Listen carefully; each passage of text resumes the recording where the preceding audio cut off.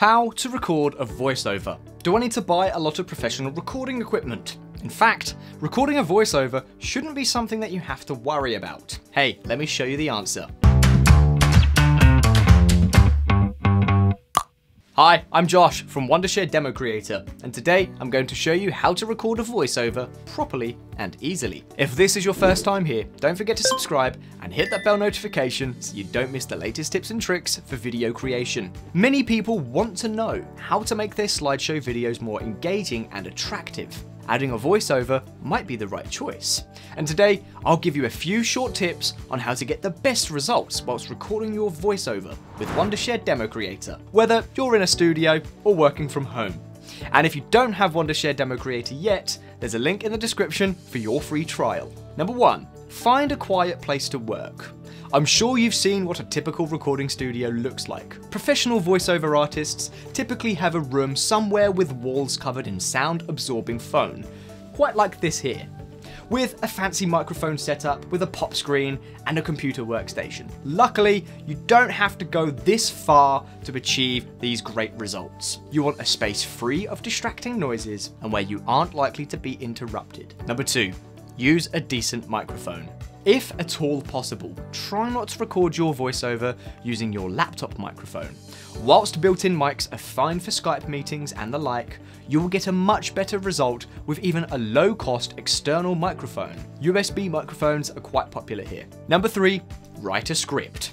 The best scripts will include word for word everything that you intend to say. Taking the time to write this out before recording ensures that you will cover everything you want to without the danger of meandering off into unrelated topics. Outline the points that you want to make and then write the full script based on that outline. Number 4 choose a suitable audio software. There's no shortage of audio recording software on the market, and most of them do relatively the same things. But for most of us, these will be far too complicated and will have too high a learning curve to be of practical use, not to mention how expensive they are. And that's why I highly recommend Wondershare Demo Creator.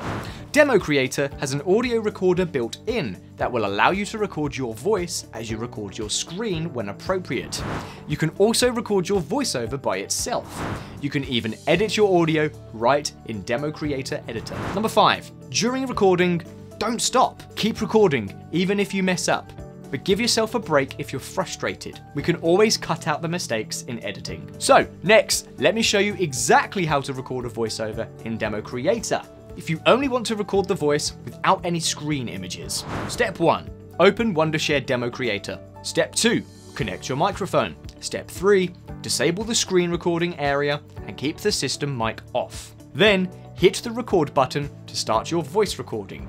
After recording, you can review it or edit it as much as you like, such as cut your unwanted parts, adjust the volume, denoise, change the audio speed, then export it. If you want to record a screen presentation with your voice, you need to enable the screen recording function. Disable the system mic, connect your microphone with your PC, then start recording. You can record the PowerPoint screen as well as your voice. After recording, you can review it or edit it as you like. As before, cut the unwanted parts, adjust the volume, etc. And then export it. So if you want to make a voiceover for your already created video, you can use the voice recorder in the Demo Creator Video Editor.